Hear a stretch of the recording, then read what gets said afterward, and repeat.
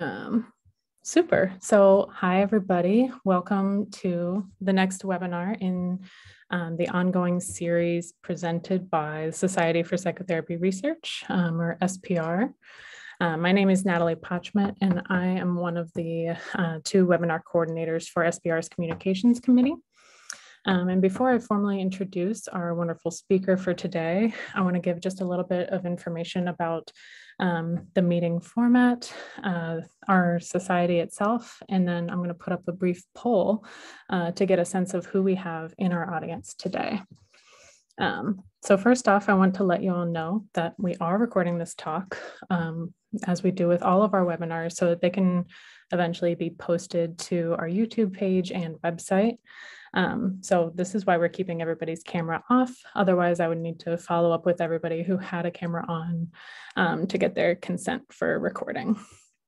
Um, so with that said, if you do have questions during the webinar, um, you can use the raise hands function on Zoom um, and feel free to private message me if you're having difficulty finding uh, where that function is.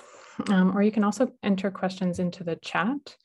Uh, we will be holding all questions until the end of the talk. So when we do reach that discussion time, um, if you raised your hand, I will unmute you so you can ask your question out loud.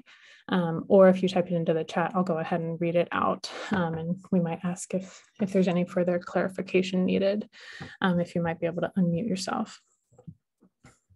Super. So that's kind of the basics of structure. Um, if anybody does have technical difficulties or other questions, please feel free to direct message me.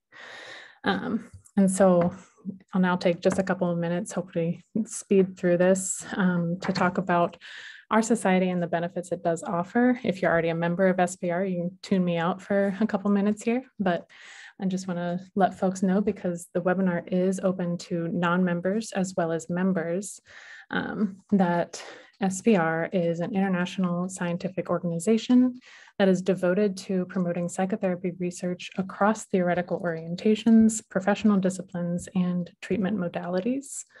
Um, for researchers, clinicians, and students alike, SPR has a lot to offer to its members. Um, so in addition to this series of free webinars, for instance, that is open to the public, um, SPR hosts a number of workshops across different uh, regional chapters um, that would only be open to um, SPR members. Um, and these include some CE eligible workshops as well. Um, one of the biggest benefits of joining SPR is belonging to a welcoming, diverse, and open community of professionals, all united by an interest in psychotherapy. Um, and there are lots of ways to connect and network with other members. Um, so there are email listservs for the international membership, regional chapters, as well as for uh, student or early career members. Uh, the International Society has an annual meeting um, to disseminate and discuss cutting edge research. Um, we have a student activities committee to keep early career folks engaged, and we're working on expanding our presence on social media. Um, so feel free to find uh, SPR at any of the um, tags on the screen here or visit psychotherapyresearch.org um, at our website. So um, with all of that said, now that you know a little bit more perhaps about um, the Society for Psychotherapy Research, we'd like to learn a little bit more about you. So I'm going to go ahead and launch a poll here. If you can fill out these four quick questions, we'll get a sense of who's in our audience today.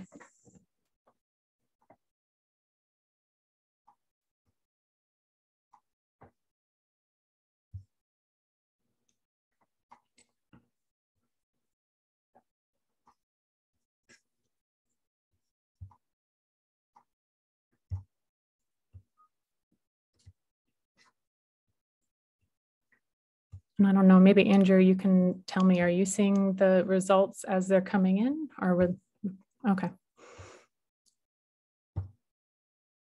Great.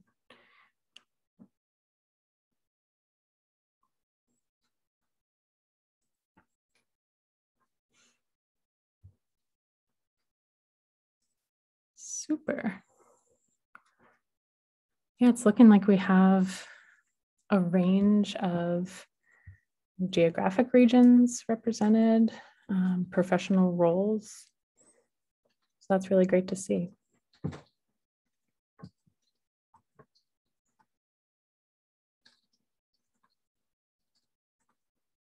Awesome. Okay. Thanks, everyone. Oh. And I guess maybe now I'm sharing the results.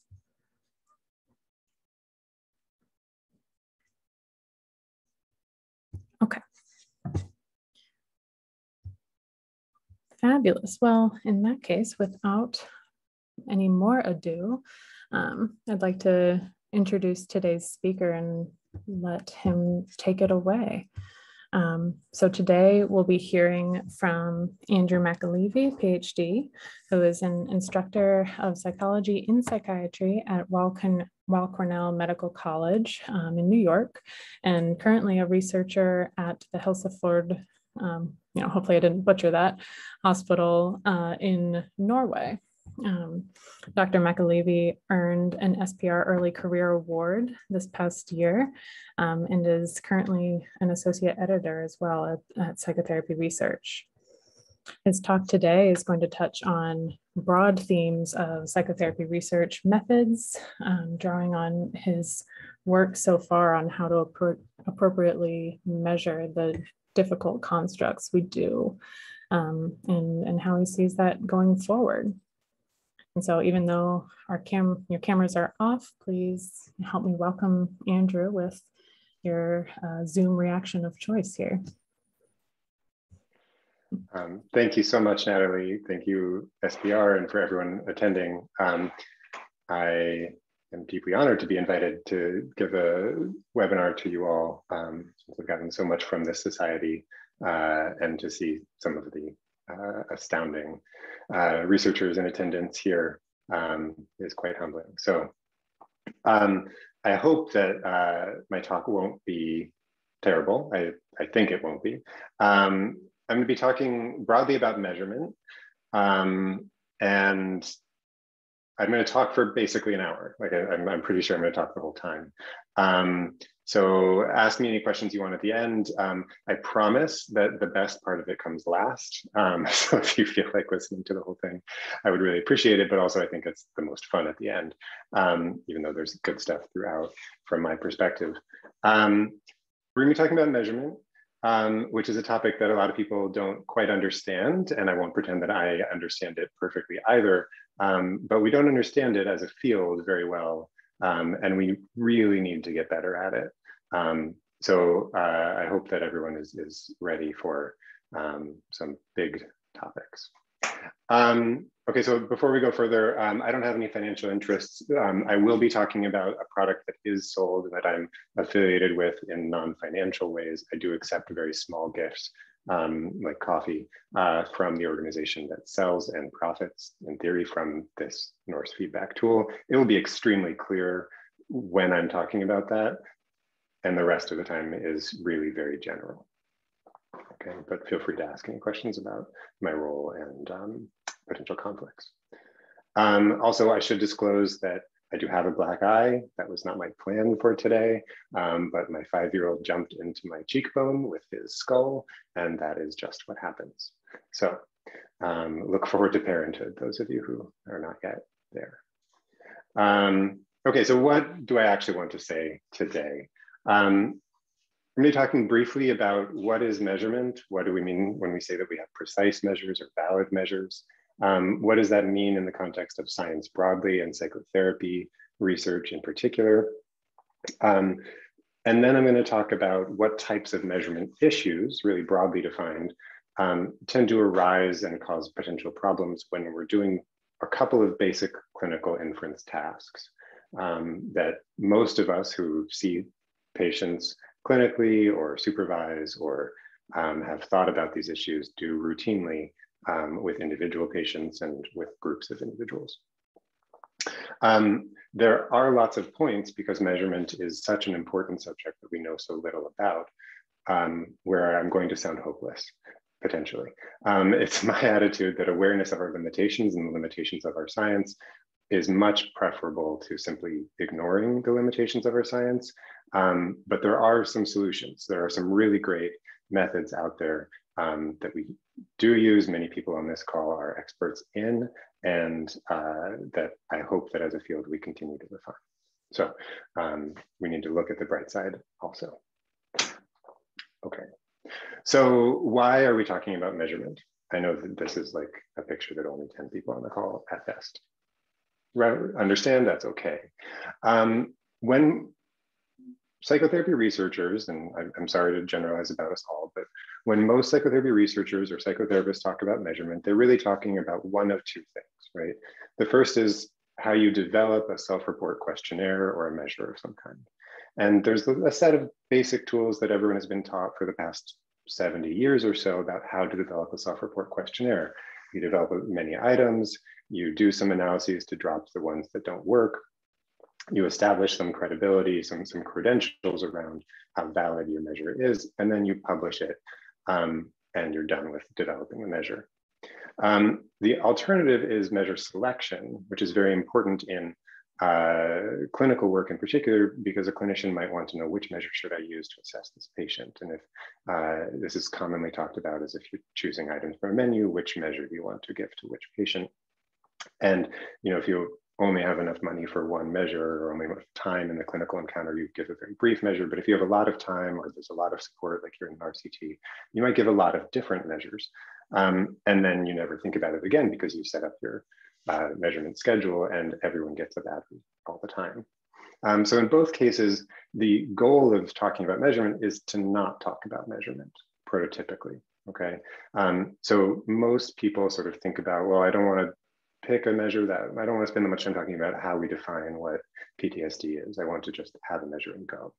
Um, and this is pretty standard in our field. I'm generalizing really broadly, I know, but I think that most people would rather not think about measurement, which is fine. We shouldn't always be thinking about measurement.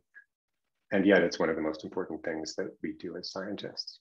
So first of all, before I start talking about what I think and anything else that I have you know, come across in my readings and things, you should know that there are real experts out there who have written quite a lot about measurement. If you don't already know that, if you don't recognize these two books, first of all, the one on the right, my hard copy hasn't arrived yet, so I haven't seen the chapter by uh, Kim and colleagues or by Stephen Baldwin and um, uh, oh my gosh, I'm blanking on my, my friend's name, um, um, about uh, measurement issues and validity issues in psychotherapy research in particular, but it, the, the Bergin and Garfield handbook, handbook is just out. Um, there are, of course, classic texts on the subject of measurement from Clark and Watson to uh, Jane Loevinger's uh, 1957 treatise.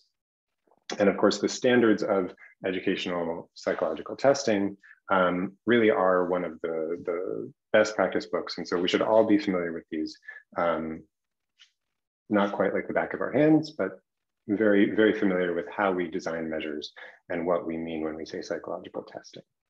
Okay, so really pay attention to those people. Most of this talk is from the three sources on the left. It's just extracted at different levels from Clark and Watson, Loevinger, and um, the standards for educational and psychological testing.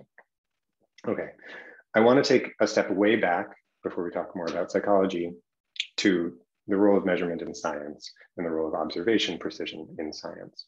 So this sort of you know oily looking metal rod wooden rod is um, one of Galileo's first telescopes. Um, Galileo uh, used the telescopes that he made, he developed telescopes and was one of the first people to point them into the sky to observe that quite plainly the moon is not a perfect sphere. These are his drawings, Sidereus Nuncius, and they demonstrated really unequivocally, right, that the moon is not a perfect sphere. And that sounds kind of boring now. Like it, it's almost a perfect sphere anyway. And like we know that it's not and that doesn't matter. At the time, this was a revolutionary finding, and he was able to observe this because he could, for the first time, see in much better resolution than the naked eye what was going on, you know, miles and miles in, into the sky. and this leads to important theoretical discovery. Um, right? And, and this is one of the observations about the progress of science over time is that improvements in precision of observation, measurement, um, tend to precede major changes in theory.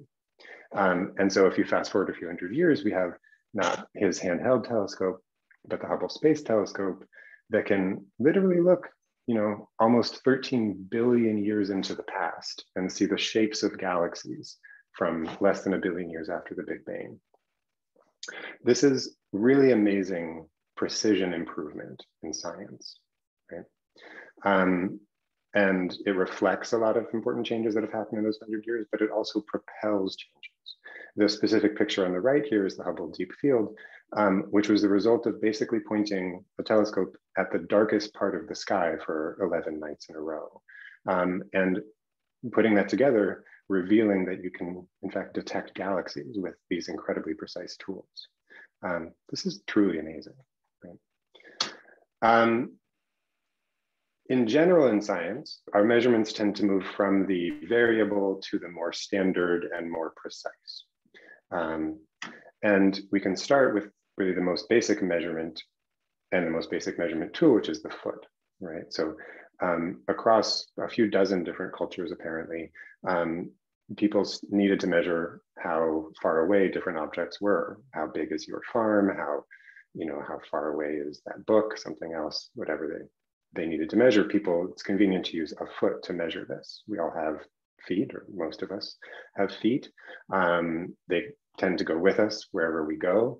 Um, and they're all roughly speaking the same size. So even if you were not aware that people use a foot as an, a unit of measurement, if I told you that there's a tree about 30 feet away from you um, that you should go walk to, you could figure out which tree that meant just by looking at, well, my feet are about this big. And so I'm gonna look for a tree that's about 30 feet away.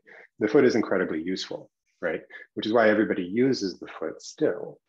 No, that's not true. Only America still uses what's called the international foot, which is very fun. Um, the problem with feet is quite obvious, right? Even though most feet are about the same size, every foot is a little bit different. This is why Cinderella exists. Um, and so thanks to the French, we use the meter. The meter is, an, is a unit um, much like a foot, it's just a little bit bigger really. Um, but the, the difference between a meter and a foot that matters is that it's not tied to your body, right? It's, it's a really arbitrary standard measure, right? It's just something that's big enough to be meaningful on its own, that you can subdivide and have meaningful small versions, and you can multiply and have meaningful big versions. It's a pretty arbitrary unit. Um, but the nice thing is that once you agree on what a meter is, you can go to every town, hang up a meter, it's just a metal pole, and say, this is a meter. Everybody go measure your farms and measure your houses according to this metric. Um, and people did. And it turns out to be very useful to have something that is different from a body that everyone knows what it is. That's just sort of an abstract measurement. Um, but it, it, turns out that once you have a lot of different towns with different metal rods, those metal rods are, that are off by just a hair each are actually different enough that some towns think their borders are bigger than others or, or that they encroach over a river or something else because they have different meters, right? And so you need to standardize. And so now instead of saying that a meter is the length of whatever the metal rod is in Paris, um, everybody knows that a meter is roughly you know, the, the distance that light travels in one 300 millionth of a second. Right, so the distance is pegged to space-time. Right? That's another major advance of uh, science that we have to think for Galileo in part. Um, so if a meter is one 300 millionth of a second, it turns out that what we really need in order to measure distance is we need to measure seconds. We need to measure time. And the way that we measure distance really comes down to tools like this. This is an atomic clock. It, it measures the vibrations, vibrations of cesium atoms, um, which tend to vibrate really fast. um, it's really good to measure cesium atoms, by the way. They're, they're incredibly reliable at, at vibrating really fast. They vibrate about 9 billion times per second. It's slightly different than that by convention. um, but it's about 9 billion vibrations per second that defines a second, right? This computer, this thing, Fox1, uh, defines a second, right? And it defines it incredibly well. It's actually the single best measurement tool humanity has ever produced is this, this clock right here. Its error is about one in every 10 to the 15th observations.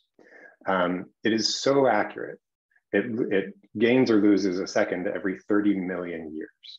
Okay, um, that is, you know, roughly on the order of, and I had to do some back of the envelope math here, so forgive me, but if you could start two of these machines right at the moment of the Big Bang, like, and just continuously power them through ever for all time, right now, they would disagree with each other by about eight minutes, right? That's how accurate atomic clocks are. That's how precise this measurement instrument is.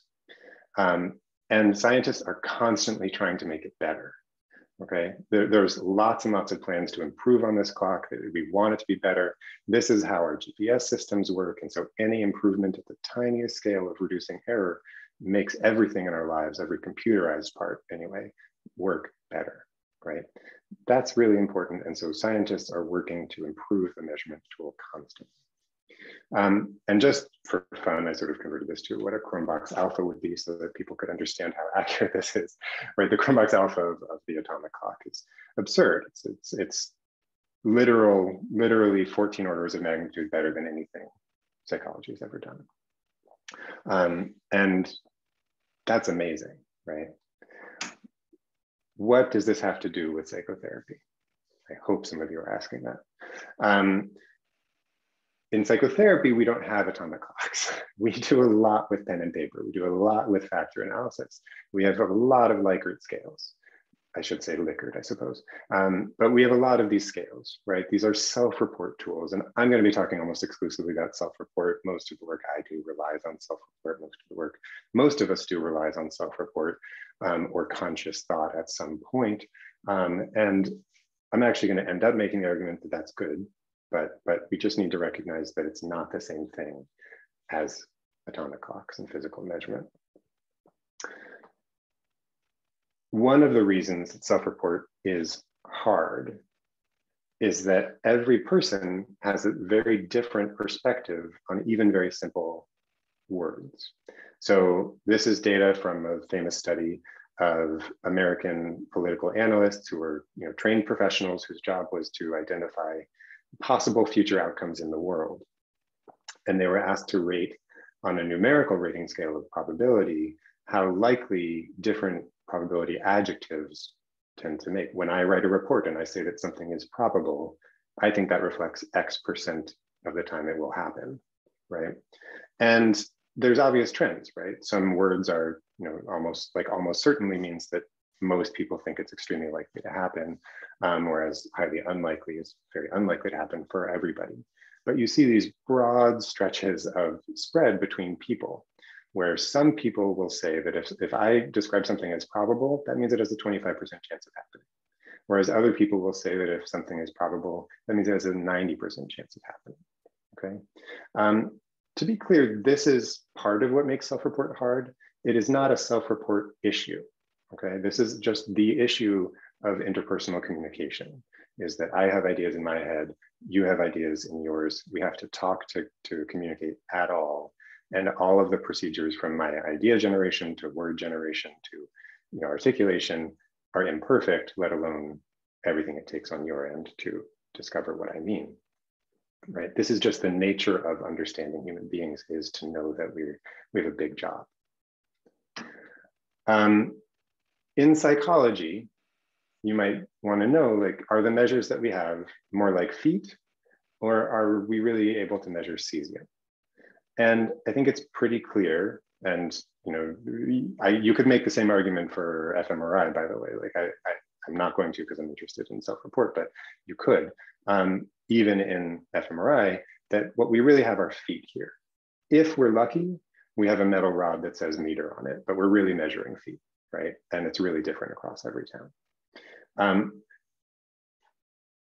just as another fun uh, point, point of fact that I meant to say earlier, but I think is important to put out there for how much worse our measurements are. Um, if we took a typical scale with you know items that are unidimensional and, and Likert type and so on, we would need 70 trillion Likert type items to achieve the Cronbach's alpha that the atomic clock gets. So unless we are willing to administer 70 trillion items, we're just never going to get to that point of precision. This is okay. It really is okay, um, because in psychology, precision is not the same thing as usefulness. In physics, in, in physical distance measuring, those two things are very closely linked, if not exactly the same. A measure that is more precise is more useful in physics. Um, but in psychology, it's just not more useful to a certain point in certain contexts for certain things to have 15 significant digits than it is to have two. It's just fundamentally not more useful for many of the tasks that we want to do, particularly in psychotherapy and psychotherapy research, to have that level of precision. And that's because we're doing different tasks. We're not measuring distances or time, we're measuring people. Um, when we measure people, we don't measure just one thing. We're not just measuring length or seconds. Um, we're assessing lots of different things. We're assessing lots of different things that overlap or are hierarchical in different ways. Um, we're assessing the same construct across different people or assessing the same person across different times. Um, we're assessing people in different contexts of cultures and gender identities and um, diagnostic and treatment courses. Um, there's lots of reasons why measuring one thing in psychology is simply not the same thing as measuring one thing in physics. Um, and so it's almost miraculous that we have any precision whatsoever. Um, but what do we have instead of precision that actually matters? And what most people would say in psychology matters in psychological measurement is validity. So how valid your measure is, is really closer to precision in physical measurements. So what is validity? Um, this is different than what I learned in grad school. I was in grad school not that long ago, I promise, um, even though I have kids and you know have gray hairs. Like it, it wasn't that long ago, but this is there have been developments, and the psychometricians haven't been as persuasive in developing their theories for the masses as maybe some other branches of psychology have been. Um, the theory of unitary validity says validity is a total accrual of evidence. It's an inductive summary that tells you how much evidence, theory, theoretical, and consequential support of using a specific score for a particular interpretation, right? This is, that's basically Samuel Messick's uh, formulation. The focus of validity, really importantly, and many of you already know this, is on scores and their inter the interpretation of scores, not on the instrument itself. So even though you can still find hundreds, if not thousands of papers published every year that say that they developed a valid and a valid scale for uh, you know, assessing depression, um, that is technically not an accurate statement, right? You have a scale that is valid for a particular in inference in a particular setting with particular patients because the scale score is what you're validating, right? Um, and this is consistent across, you know, informal and very formal writing about validity including in the guidelines of one of the, the Bibles of this type of work. Right? Validity is the degree to which evidence and theory support interpretation of test scores for the proposed use of test. It's a very use-focused measure. Um, I'm going to use Samuel Messick's uh, work to sort of illustrate some of the parts of what validity is, even though validity is one thing that is sort of a summation of lots of different parts, uh, the different parts are important to keep in mind, particularly as we move towards psychotherapy. Um, the most well-known of these is construct validity. Construct validity is essentially the idea that you want to know if your score measures what you think it measures. Um, and almost all of the empirical research on measure development, on construct validity, uh, it, on measure development and validity of instruments, so-called, is on construct validity. Okay, this is what most people think of when they think of validating an instrument the construct validity of test scores. Um, the relevance and utility of a test, um, and in this case, the clinical utility, because we're talking about psychotherapy, is the appropriateness of that score for a particular application, right? You can have a very construct valid test score or um, item response that is very not useful in a particular use or use case, right? Um, so uh, for instance, uh, you might have the math test question four, four plus three, right? If I ask everyone on this call what four plus three is, everybody would get it right. Um, but if I ask a group of, I think maybe three or four year olds, some of them would get it right and some of them might not. Um, and so there would be a useful test question for discerning math abilities among some people, but completely invalid, completely useless for discerning math abilities in others, right? So for those of us on this call, we're all nerds, and so we can add four plus three, whereas people who are only becoming nerds, like our children, um, they might not be able to. Um, I'm seeing some writing on here, and I don't know if I can erase that or not. Someone scribbled on the screen. I don't know if people can see it. Um, okay, I'll ignore it for now. Um, the other aspect of test validation proposed by Samuel Messick and widely supported in the field still, um, but lesser known is consequential validity. Um, and this is really what is the effect of using a score in a particular instance. And an example of invalid consequential uh, basis of evaluation for a test is this um, so-called voter literacy test given in Alabama in the 20th century, um, which was largely a tool to discriminate against African Americans and prevent them from voting. Um, it was nominally a test of literacy and it you know, ask some questions that are theoretically about reading comprehension on some level.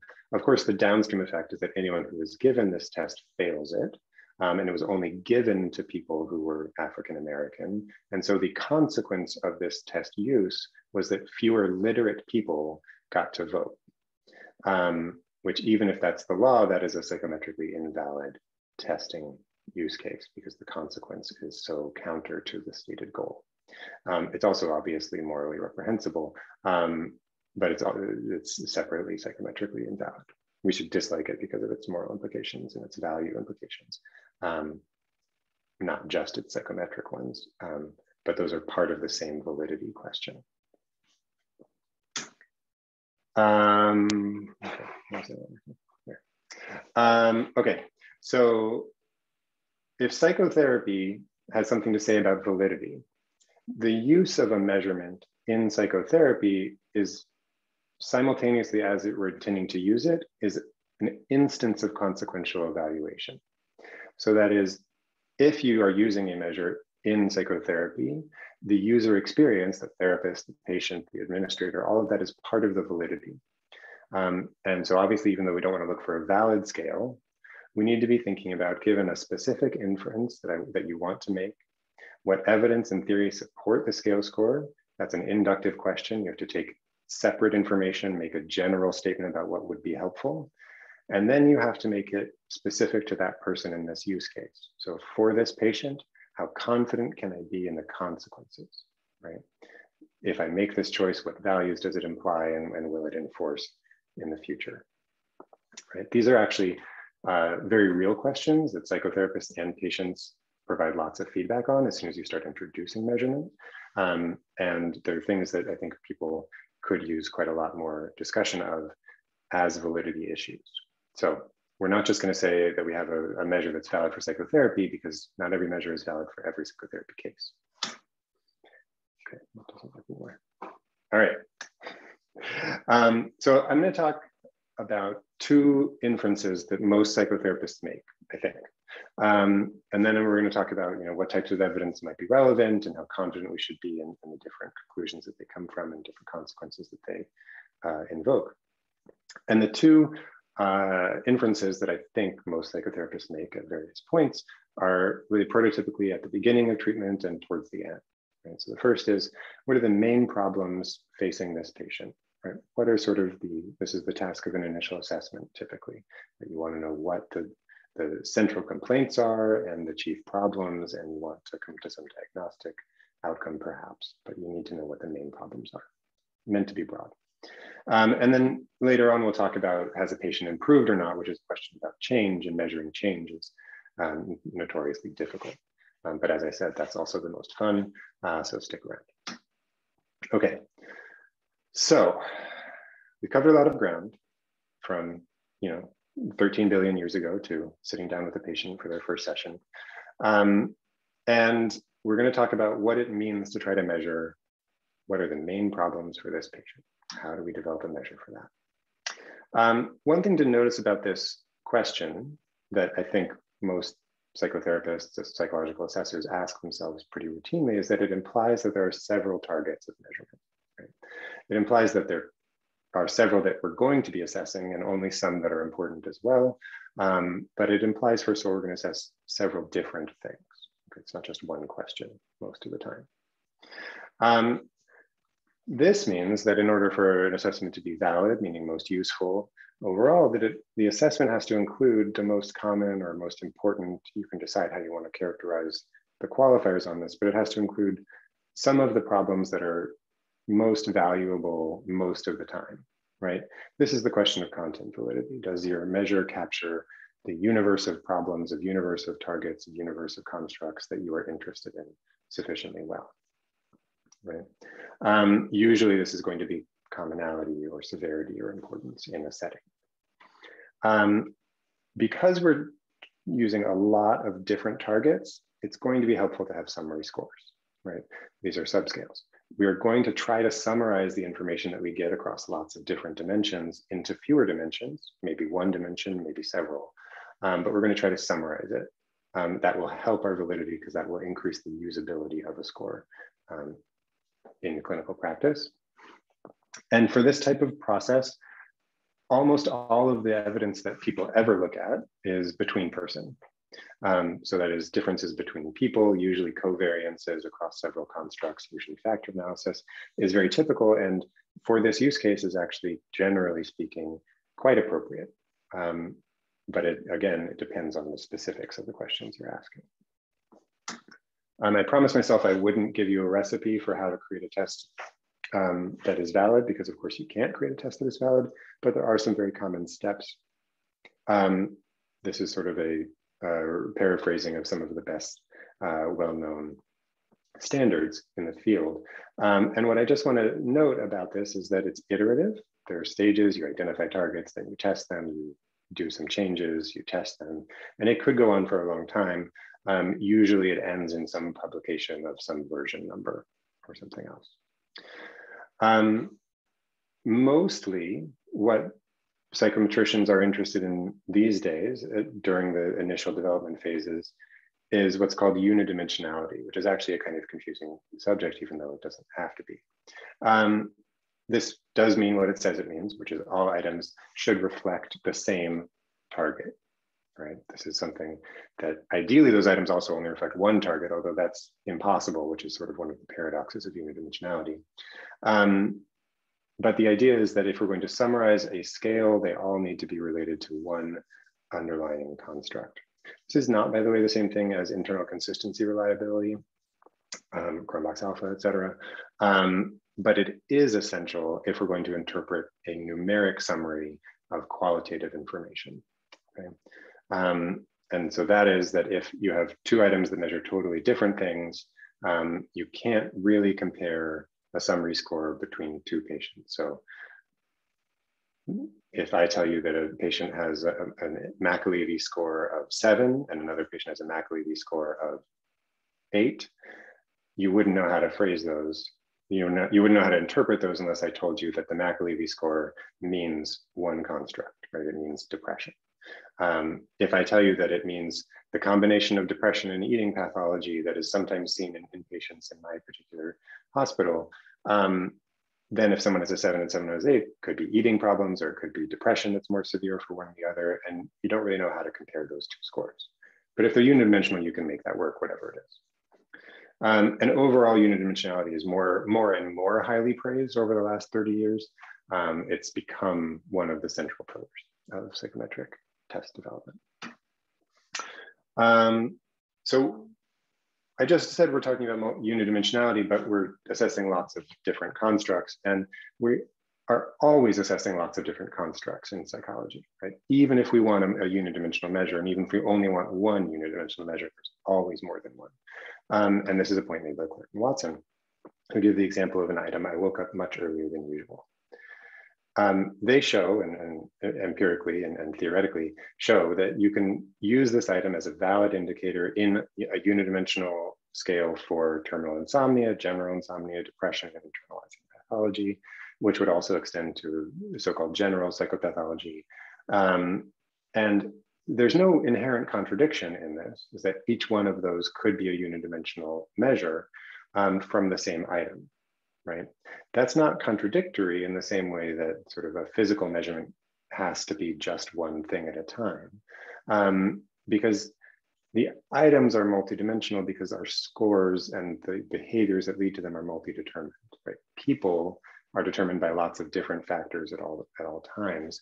And so one person's score on I woke up much early, earlier than usual could very well be the result of lots of different meaningful constructs the confluence thereof. Right. So we have this interesting phenomenon, which is even our best unidimensional measures are in fact multidimensional at the lowest possible scale, um, not to mention the, the higher factor levels as well.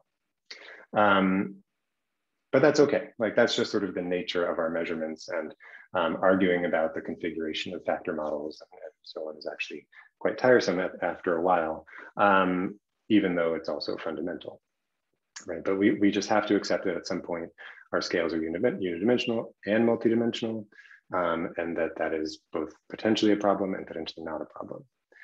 If the multidimensionality is partially or mostly due to random error, then it's a real problem right? If, if it's just sort of coin flipping, then it becomes a problem. But if, you can explain it and if it, if it makes sense, then it's generally not.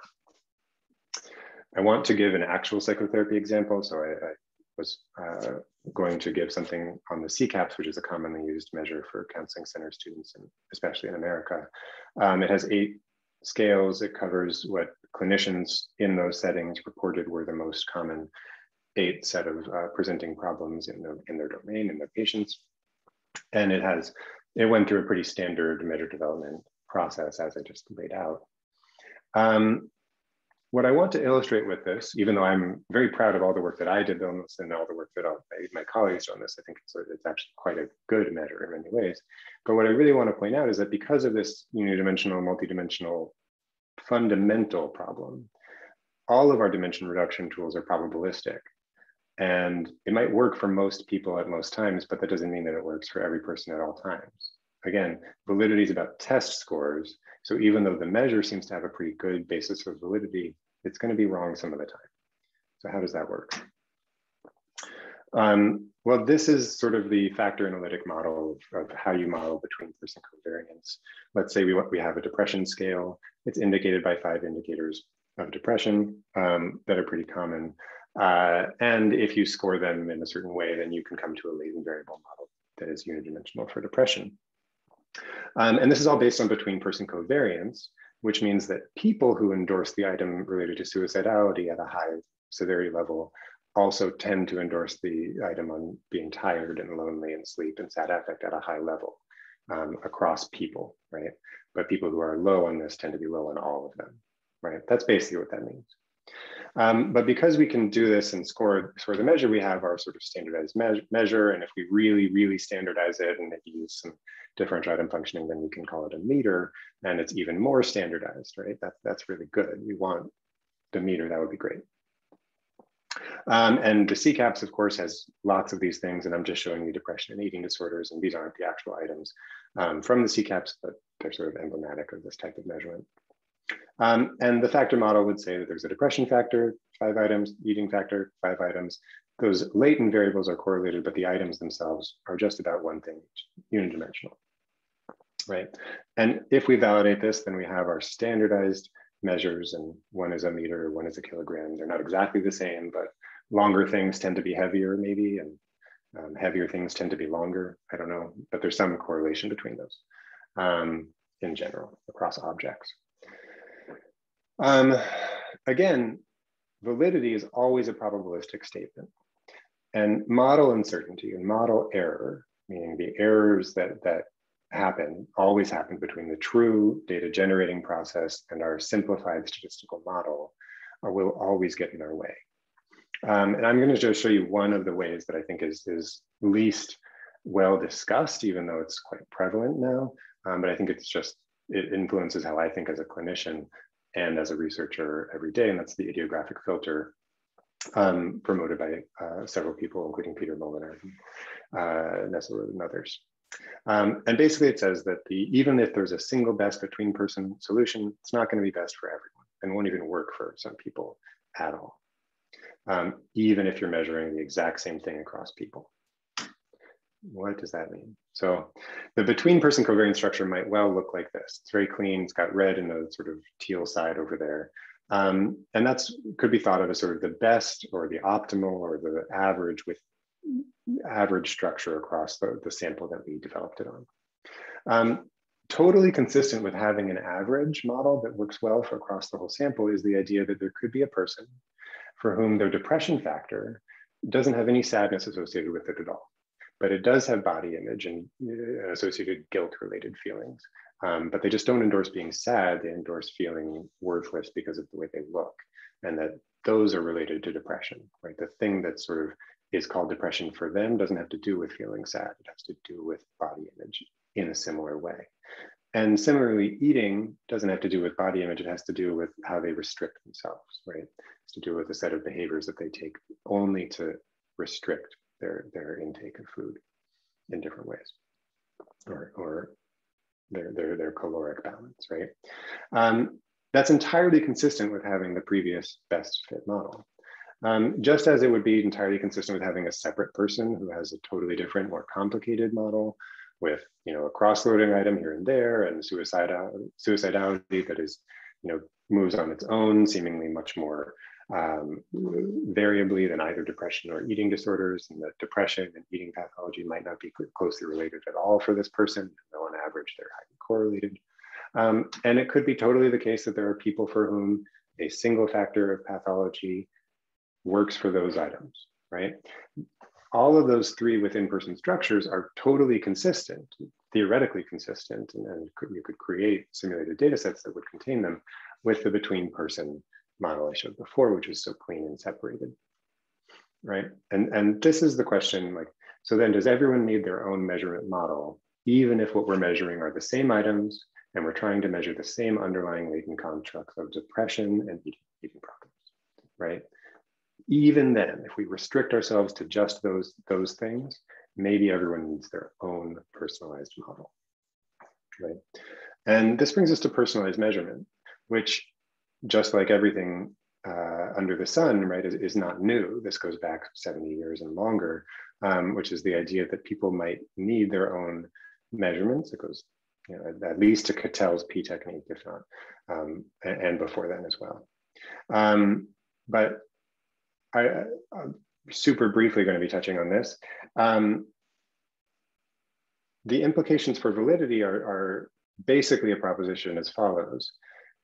The more distinct the individual is from the group, the less valid the between person model is going to be, meaning the scores for them from the between person model are less meaningful, right? This actually makes perfect sense in, in person because if you are treating a patient who basically responds to all of these items the same um, and tells you, yes, I felt more depressed because I was also struggling with my eating disorders today.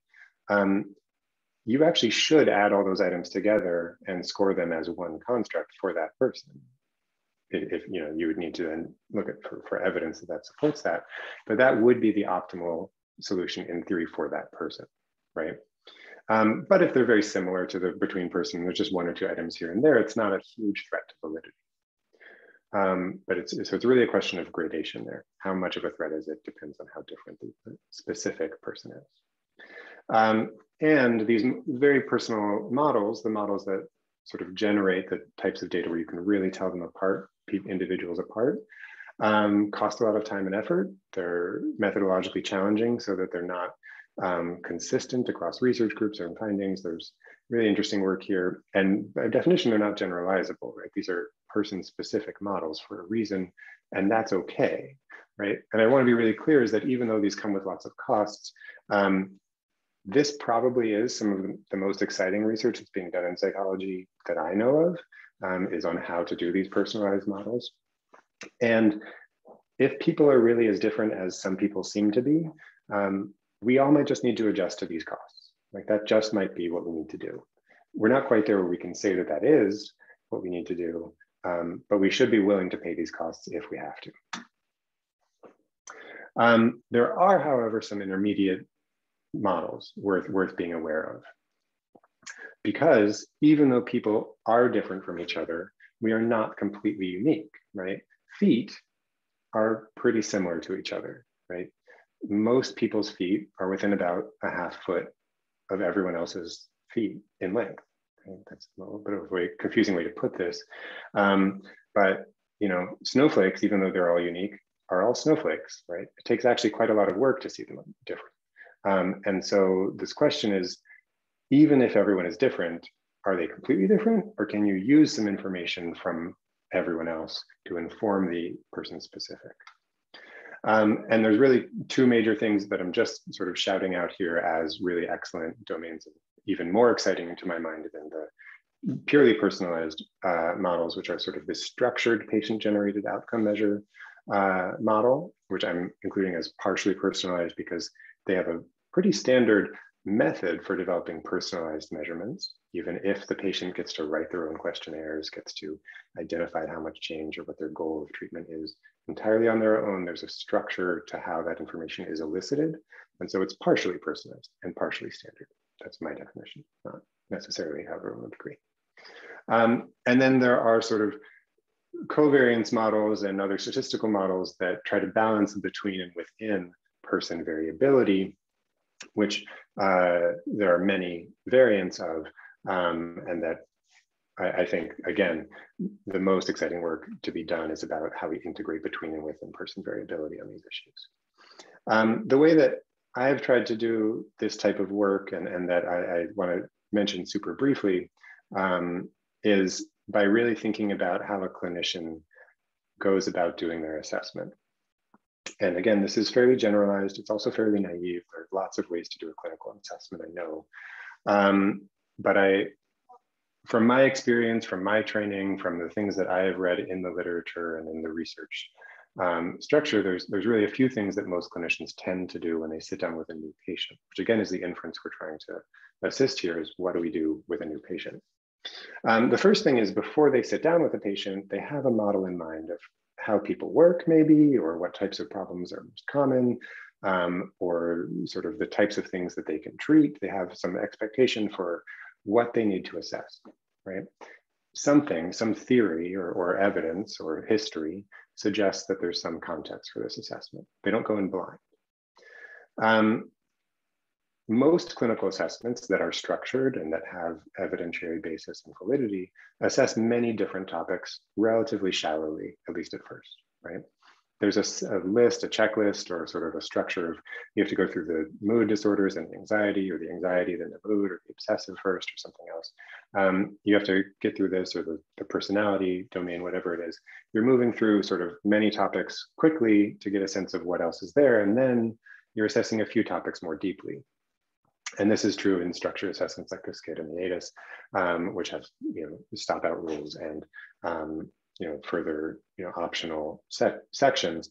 Um, but generally, you're going to be assessing the disorders or, or, areas that are most problematic, most distressing to the person, or most severe, um, or most in need of treatment, whatever the whatever that qualifier is for your setting.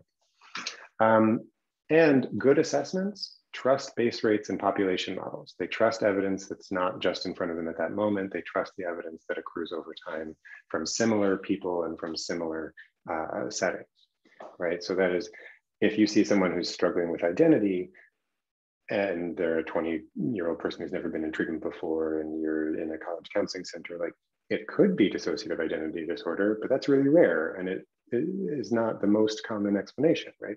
It could be normal adolescent identity development, or it could be emerging personality disorder, or it could be any number of other things that are considerably more common in base rates and in that population and in that setting. Um, and so even if it seems like that, you sort of want to be convinced to move beyond the base rates, not just trust the individual observations you have. Mostly, right? There, there's there's obviously a balance there and we need to, to pay attention to the individual, but trusting population models and base rates is part of a good assessment in my estimation. Um, this is the part where I talk about the Norse, which again is for sale and makes some people money. Um, I don't know if it makes Christian and Sam any money, but these are the inventors of it, the, the, the initial concept. I've been working with this group for, um, I think, almost six years now. And this is a partially adaptive, partially responsive um, clinical assessment tool for psychotherapy in mental health settings, um, where we sort of embraced the uniqueness of the clinical assessment process, right? We say, well, you like eight scales, how about 20 or more?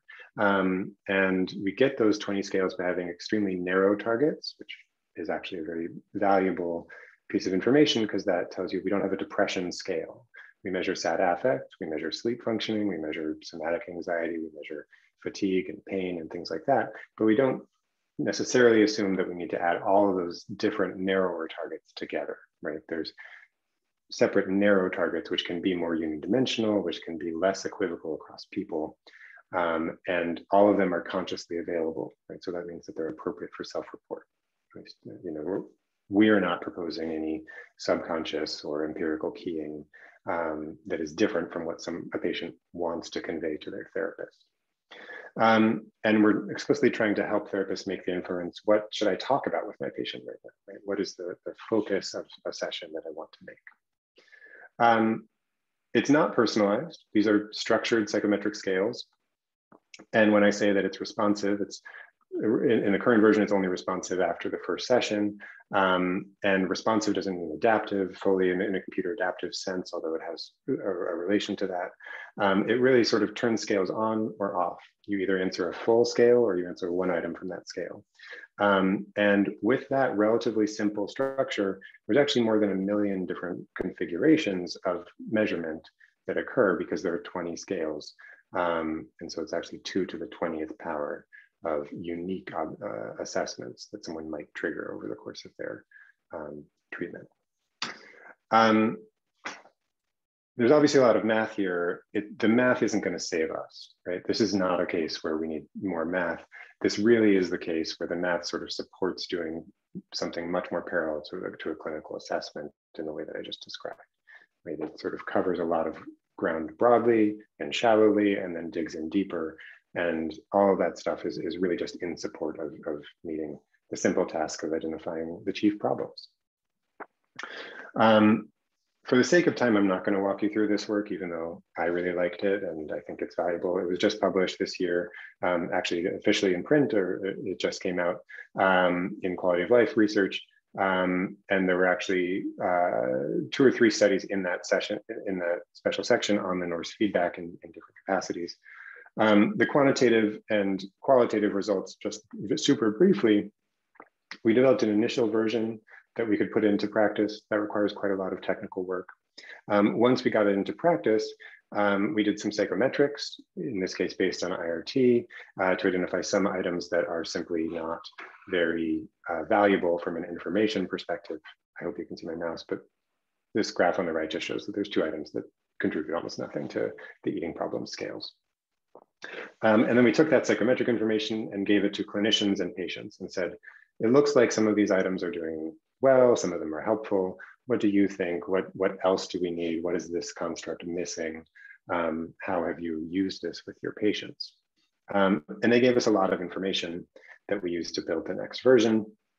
And that showed marked improvements in psychometric performance with some still still some clear areas to, to improve. We don't have very good measures of strength and resiliences, um, but we do have, have a, a, much better instrument than we had before collecting the evidence and getting the evidence from clinical practice, right? And even the eating disorder scales lost an item, but actually gained information overall. And there's a more even spread of information across the items that, that we're still working towards. Um, I'm gonna skip this, even though I can talk for days about the NORSE if I had to. Um, this is a section that I want to share that talks about whether or not the NORSE is useful. Right? A lot of people hear that the NORSE has 20 scales or that you know they see a picture with lots of lines and things it's going to be confusing and not usable. Um, this is information provided by a company, so, so don't you know think of it as neutral information.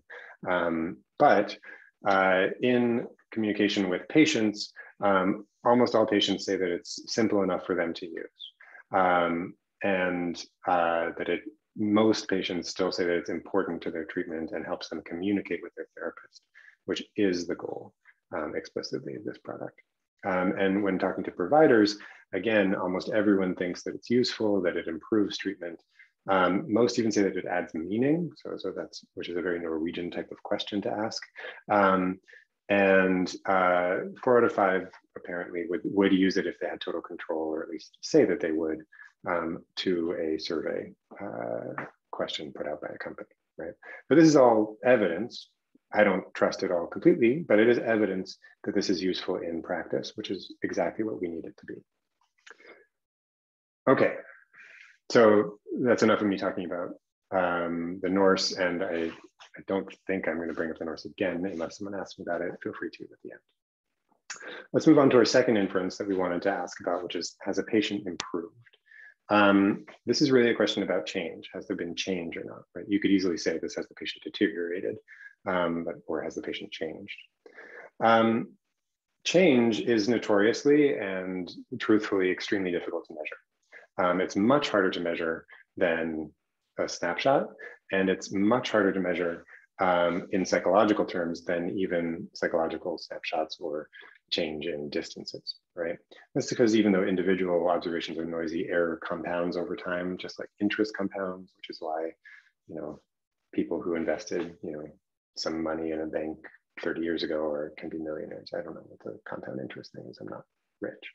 Um, but I'm just going to talk about a couple of reasons where we make big mistakes um, in psychotherapy research. Uh, and those are model error, which is actually quite similar to something I've already talked about. And then the RCI, which is my personal obsession, as anyone who has talked to me in the last six months knows. Um, okay, so what is a filter? this is what I'm going to call the longitudinal filter. This was part of my dissertation. Those of you who are in grad school um, I did the first analyses for my dissertation, I think 10 years before I published it. Um, and I still have stuff for my dissertation I haven't published. So like it takes time.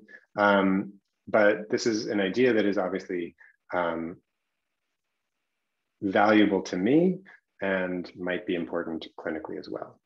The basic concept is that what changes over time is not the same as what differentiates two people, just as the filter, in this case, uh, changes over time, but the person is constant.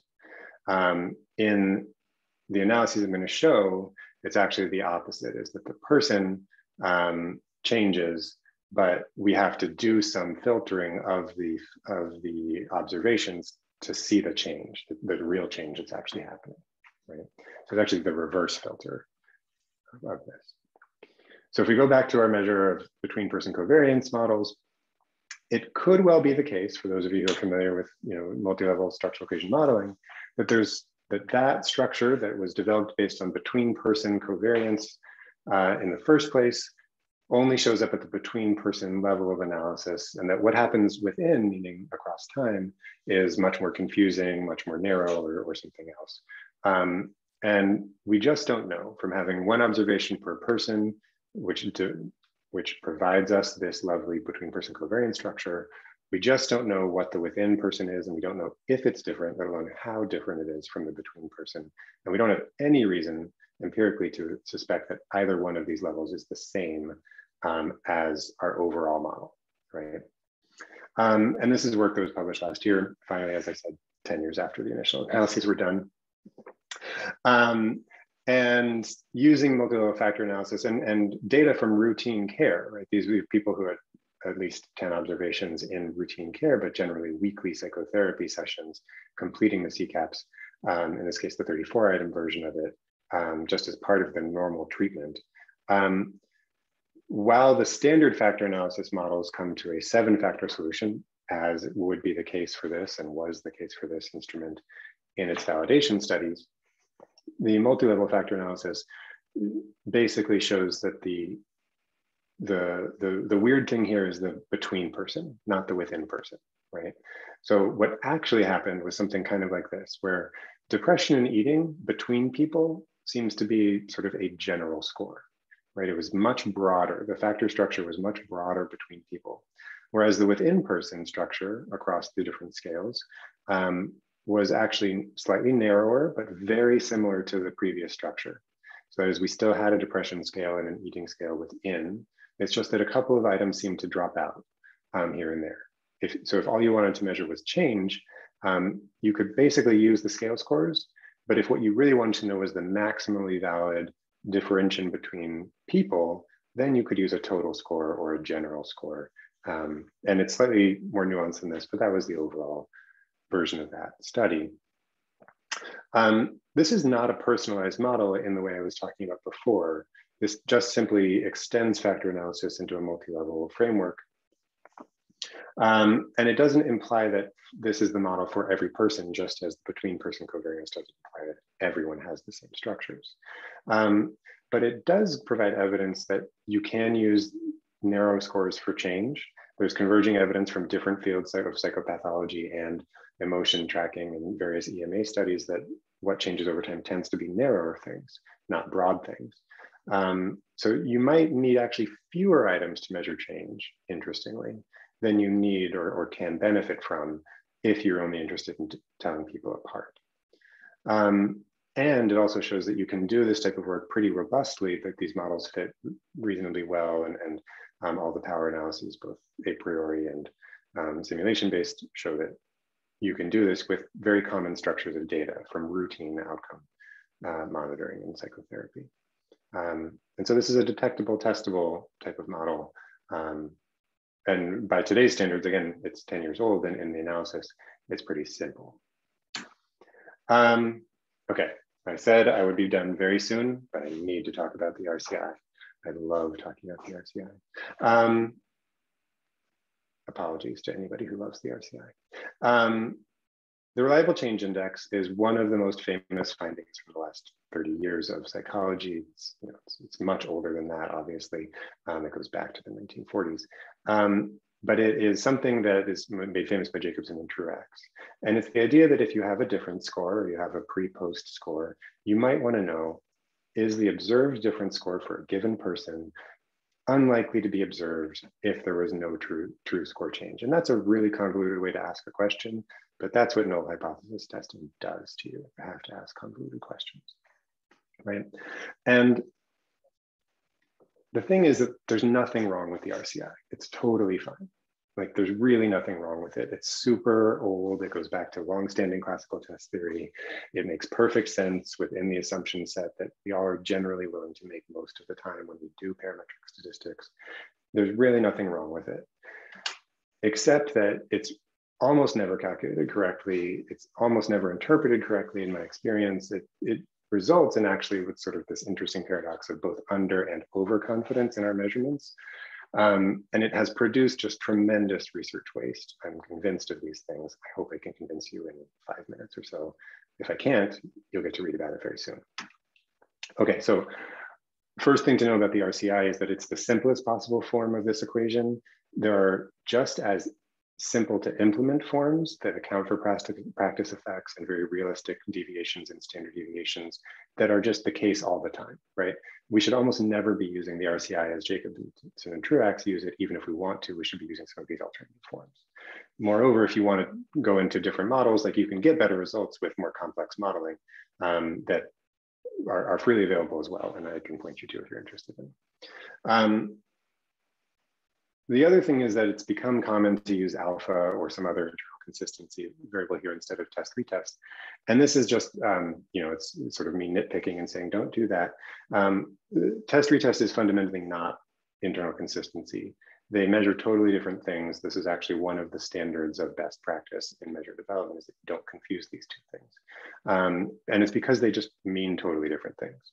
So what is test retest, right? You give a test, you give it again later. That period of time, the retest interval, is defined, right? We have to we have to know what that is, and that is the period during which an examinee standing on the variable being measured would not be expected to change. So it is person one is the same at time one as they are at time two. Um, and so the question is, how quickly do scores on whatever you're measuring change? Do they change on every week, every two weeks? Do they change every day or hour? Um, and that's what you really need to be asking yourself. And moreover, you need to ask yourself, how likely is it that person one is the same place in the total distribution of all people at time one and time two, given how short your retest interval is? The retest interval that's appropriate is so short that that is what will happen, is that it will always be the exact same rank in the total population. Every single person doesn't change rank. That's what that retest interval means. It's super common that people use a two week interval when they're administering a, an instrument every week in practice, which means that when they administer it in practice, they assume it changes less than, a, more frequently than once every week, right? They assume it changes at least weekly, but it could have changed in between um, assessments. But when they do a retest, they use much longer interval periods even, which is the exact opposite of what we need. Really, for a lot of outcome instruments that I'm interested in, the correct period is at most a day. Like a retest of one day is, is much preferable, um, which would tend to make the RCI very conservative as it is in practice. Um, moreover, how do we interpret the RCI? Well, we interpret it like a null hypothesis test. Many people know this. Um, that means that if there's a large change, a change larger than the instrument's RCI, then you reject that there was no change, right? Then it wasn't no change. That, that's what you can say about that. Um, if it's smaller than the RCI, if the observed difference score is smaller than the RCI, you don't know what to say. The RCI gives you nothing in that case, right? It doesn't say that there's no change. It doesn't say that the change was unimportant. It just says, I don't know, right? It shrugs its shoulders at you. Um, some people interpret the RCI as a minimum detectable change. This is actually really common. It's canonized, in fact, in, in manuals even. Um, conventional measurement says that the smallest detectable change of an instrument is whatever the smallest increment is, right? And in fact, if you're measuring grams, and I've done this because I've worked in a neurobiology lab, I was measuring micrograms, the smallest detectable change is half of whatever the unit is that you can actually measure, right? That's what a detectable change is, is half of what you see. Um, it's not 1.96 times the standard error of what you see. That isn't by no means minimum. Um, and then finally, like many people, because it came out of the field of clinical significance, interpret it to mean a clinically significant change or minimum important change. And it just has nothing to do with that. Like it's just fundamentally a totally different object. Like it, it may look like that occasionally, or in some instruments be numerically similar, but it's based on a totally different concept. It has nothing to do with whether something matters in practice. Um, and you see all these all the time, right? Um, much more so, right? Even if you could calculate it correctly and interpret it correctly, you have this problem, which is the RCI is just wrong a lot. It's wrong so much. And I, I apologize that this is not more widely known because we really should have caught this earlier, guys. Um, here's just a, this is the theoretical map for when the RCI is right and when it's wrong. The higher the line goes, the more often an RCI will be right. The, the value on the x-axis here is the true change score. This is the thing that whether or not someone actually changed, right? The RCI is right less than half the time if the true change score is less than 1.96 times the standard error of the difference score, right? Unless it happens to be exactly no change, because then it's 95% accurate, right? But people don't know change. That's a good double negative. People change. we all change all the time in different ways. Um, like no change here, just like every other point null estimate is really meaningless, right? Um, the only way to get 95% total accuracy is either to have no change whatsoever in truth, or to have an effect that is almost four times larger than your error, in which case you should not be doing statistics. It is so clear at that point that there has been a change, you do not need the numerical summary, right? Then measurement is useless and precision won't help you. It's just like these far extremes are really pointless to do math on, and the little point in the middle doesn't happen. Everywhere else, it's less than 95% accurate. Most of the time, it's going to be less than 50% accurate. And the reason it does this, again, is that because measurement error is sort of randomly happening, when you start segmenting people into really big observed changes and really small ones, there's going to be more people with really big observed changes who just had big measurement errors in that direction, right? They started really high. And so they had a huge change because they, they had this sort of, this regression to the mean effect, right? That, that's what that is. This is, these are biased measurement errors. Um, I know I didn't explain that well, but we'll move on. All of this adds up to the fact that the RCI as a total accurate measure, if unless you have reliability at the level of an atomic clock, right, it will always, always, always be considerably less accurate than just taking the sign of the difference score and saying, if this person looks like they improved, let's call them improved. It will always, the RCI will always be much less accurate than just doing that because it can't tell you about the people in the middle. And when it tries to, it's always wrong. Um, now, just taking the difference score isn't great, right? There are better ways to do that. Um, and and I, like there are lots of better ways to do that, in fact. Um, but the RCI is much worse than that. And so we should just really not use it for that purpose. Moreover, the RCI generates research waste because people will frequently throw out interim time points, right? So it's designed for pre-post data. It was developed, you know, in the clinical sciences at a time when pre-post was really the data you had. Now we have interim data, we have weekly data, we have EMA data, we have lots of data points, lots of observations per person. You don't need to just ask whether two scores are different. You can ask if there's, say, a linear trend or other types of trend, and you can include measurement error in those evaluations or not, and you could include other people. You could do a lot of stuff. And what I'm showing here is just a simulation. It's not real data, it's simulated data, but it's pretty similar uh, to what you would get with a reliability of 0.8.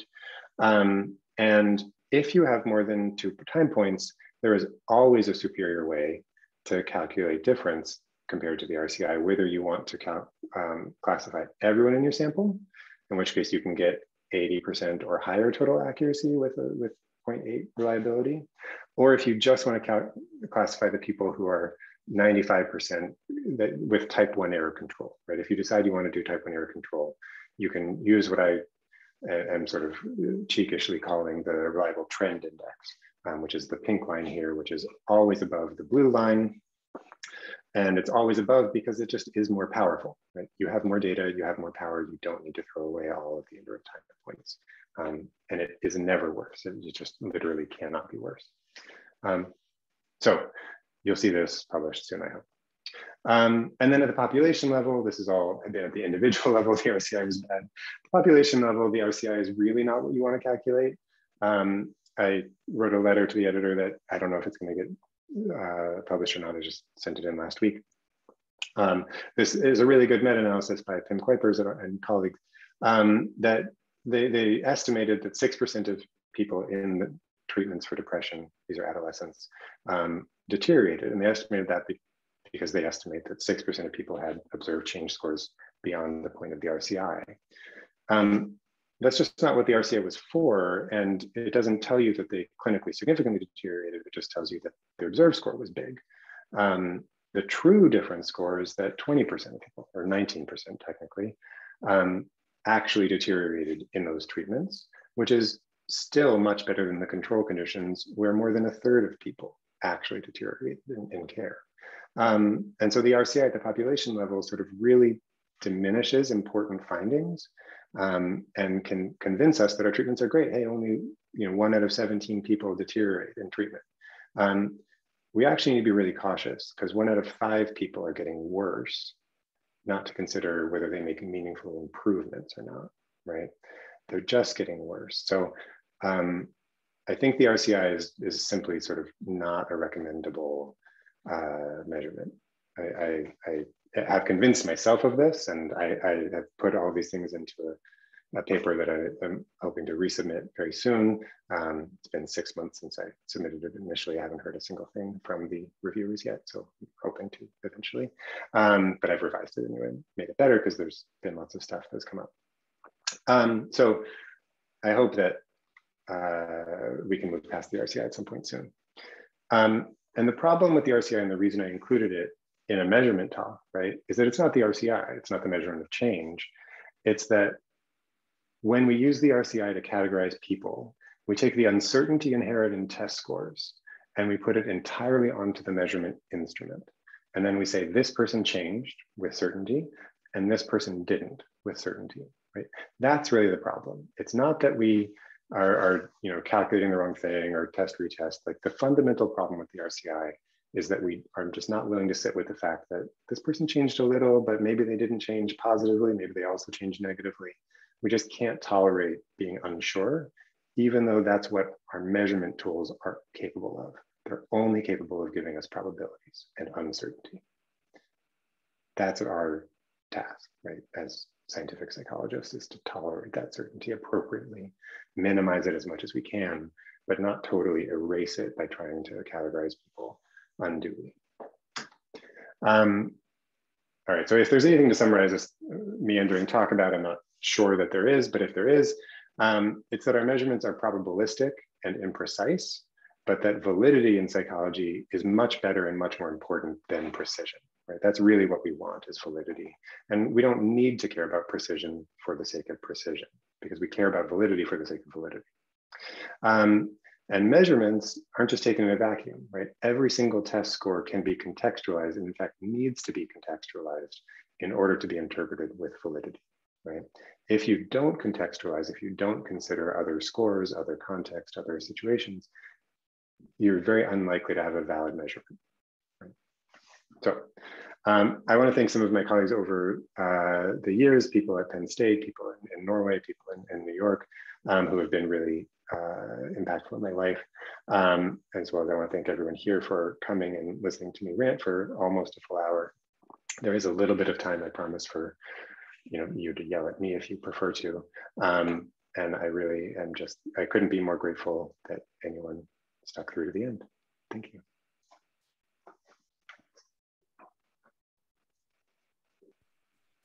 Fantastic. Um, you know, I, for one, as any time that I hear you talk about measurements and statistics was blown away and there's a lot to to sink in. Um, we do have a comment and question, and hopefully we get more. Um, but I'm gonna, I know y'all can read it in the chat. I will just read it out loud so it's preserved in our recording. Um, Kim says the RCI is extremely conservative, fully agree. Um, it's been criticized since its existence by many different researchers.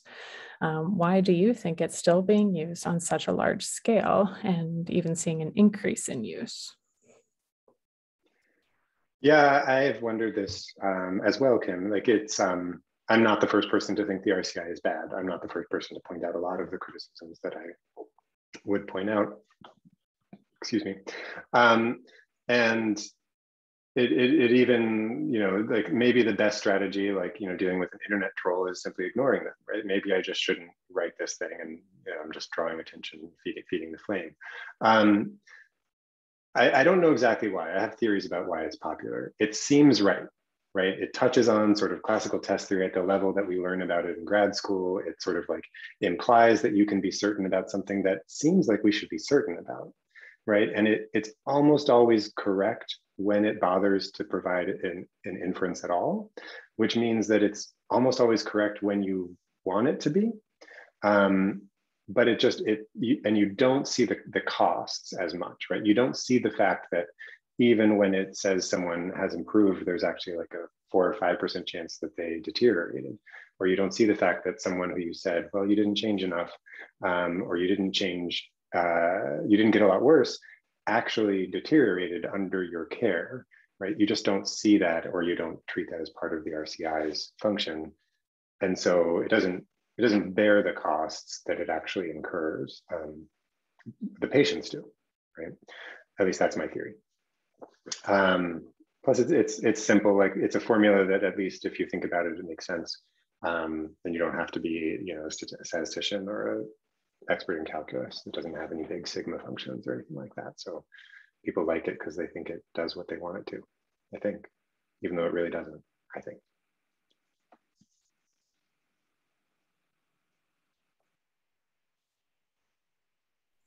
Fantastic and well, well timed. We have another comment and questions in the chat from Mark, um, who says, thank you for a very interesting talk on a very important issue. Um, can you give us some advice on first steps to start to realize personalized measurement? How do we organize our routine um, outcome measurements in a way that we can create a more personalized way of measuring change? Yeah, um, it's such a great question, and I think that um, there would be so many ways to go about um, doing it that you know you would need to ask yourself what you wanted from a personalized measure. And I'm going to pull up a slide just to have something up on the screen that that might be relevant. Um, the question is, do you want a fully personalized measure in which case you know you're really doing quite a lot of work with each patient or do you want a partially personalized measure in which you're doing still quite a lot of work with each patient or something else and do you want it to be a statistical model or a clinical model um, which is really the difference between the uh, patient-generated outcome measures, which are really a clinical personalization, and these ones, which are really statistical personalization. Um, I have, you know, only good things to say about the, the, the patient-generated outcome measures that are here. Um, they have really excellent clinical utility. They have been shown to have really great um, psychometric properties when they're used in the way that they're intended to, at least the personal questionnaire and the PSYCHLOPS. I, I don't know the goal attainment scale as well personally. Um, but those are really excellent tools for how developing a structured way towards personalization. Um, but they require some work in getting used to. Um, and the, the more statistical models, I think, at this point require a fair amount of integration with a technology platform. And so you have to have digital measurement and capacity to um, implement pretty complicated algorithms. Um, so those may just be off the table or they might be exactly what you want. I'm not sure. But I, I would point you to Sales and others um, who go through some of these uh, measures and some of their history and some of their validity um, evidence and describe the use with them. That'd be my first recommendation if you're interested in patient generated outcomes.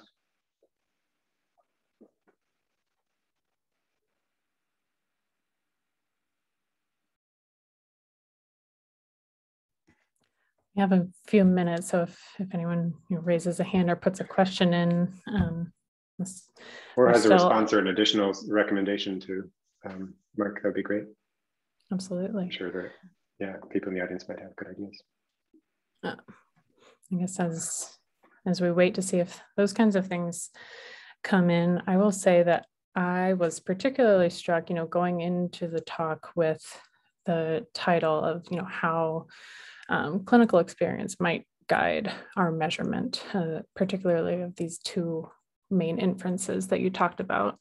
Um, I was struck by the the process with developing the NORSE. You know, the people were sticking sticky notes on a board to kind of break down these different constructs of, of how they how clinicians and patients see them occurring in in real life.